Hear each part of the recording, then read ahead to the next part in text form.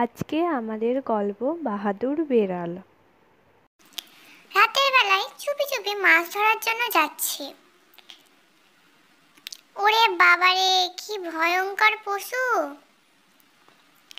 আরে, এটা আমাকে তাড়া করছে না, কিছু মজার ব্যাপার আছে এখানে।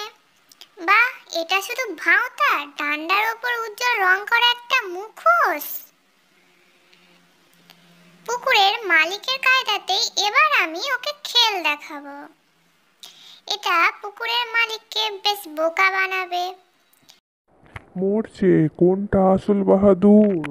এর কেউ না হে হে আমি গাছের ওপর থেকে দেদার মাল ধরছি।